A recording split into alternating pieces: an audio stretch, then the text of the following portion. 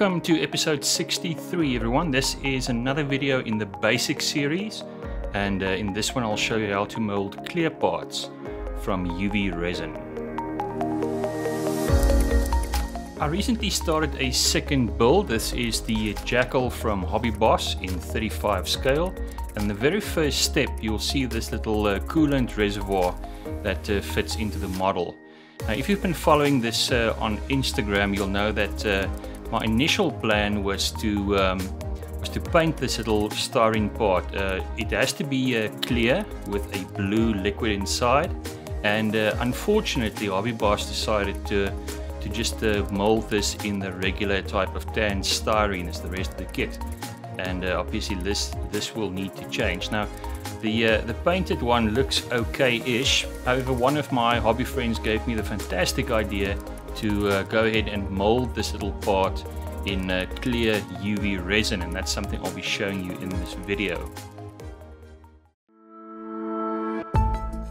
To do the physical molding I used blue stuff from Green Stuff World. They certainly love their stuff. Basically this is uh, four blocks of uh, thermoplastic, basically plastic that uh, becomes uh, uh, pliable, malleable, once it's heated up. There's some basic instructions on, the, on, the, on the leaflet and there you can see a little block of plastic and this has some amazing properties. So that's the molding covered but how do we get the clear stuff in there? For the clear stuff I used UV resin. Now this is absolutely magic guys. This is a liquid that uh, when exposed to UV light hardens and definitely a very useful uh, product to, to have on your hobby bench. Comes in a bottle and uh, there's a number of ways you can harden this. Uh, one of them is uh, this UV flashlight. It's called a scorpion light.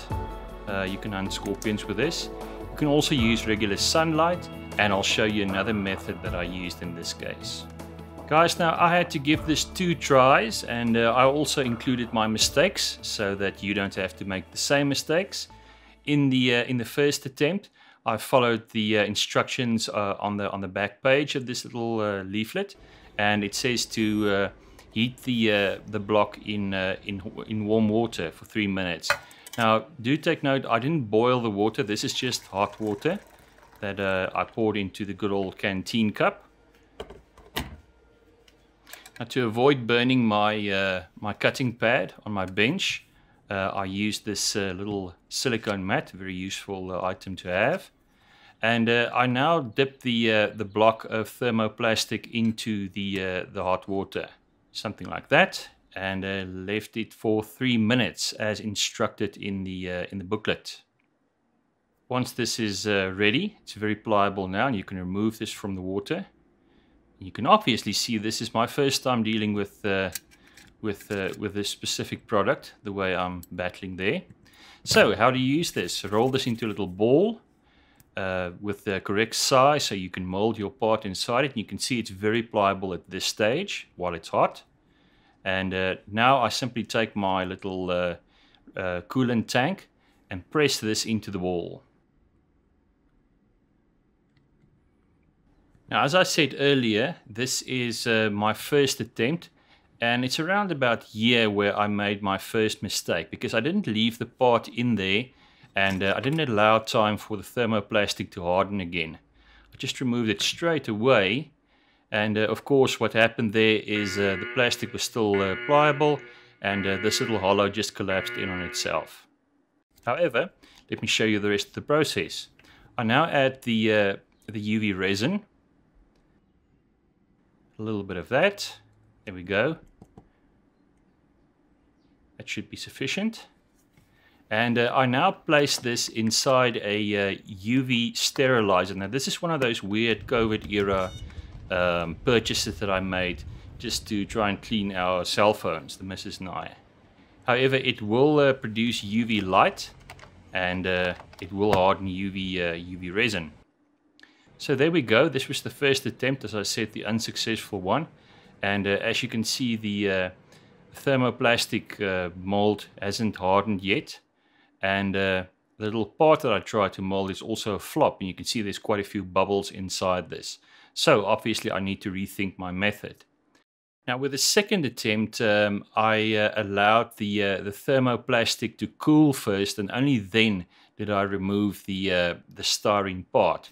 And you can see there, this is, much, uh, this is a much better mold. This has hardened a bit and uh, this is now ready to take the, um, the UV resin. Just squeeze a little bit in there. Perhaps a little bit more. And this time around, to avoid the bubbles, I also used um, this, uh, this tool that I made myself just to make sure that I get rid of any air bubbles inside that liquid. So this is now ready to uh, go into the hardening process again. And uh, it goes back into the UV sterilizer under the UV light. This gives about 10 minutes of UV light. I actually gave it um, two runs in this uh, little device from Samsung. And uh, just to make dead sure, I placed this uh, where there's an abundance of UV light outside, of course, in direct sunlight. And uh, I left it there for about an hour or two, just to make sure that it's, uh, it's hardened. So this is attempt two. It looks a lot better this time. The, uh, the mold is also quite hard. And uh, in this case, I decided to cut away the mold around the, the molded part. And there you can see absolutely gorgeous. That is the, the result that I was after in the first uh, instance. And uh, I certainly can't complain about that. Even the little uh, the cap is visible there. Next, I remove the excess uh, resin. This is uh, soft enough to cut away with a pair of scissors. And there we go. Perfect copy of the original styrene part. Now this has so many applications that I can think of A few other things I did in this case, just uh, mark the uh, fluid level more accurately than I, I, did the first time when I painted this. And uh, to paint the, uh, the blue coolant, I use transparent blue from uh, Vallejo.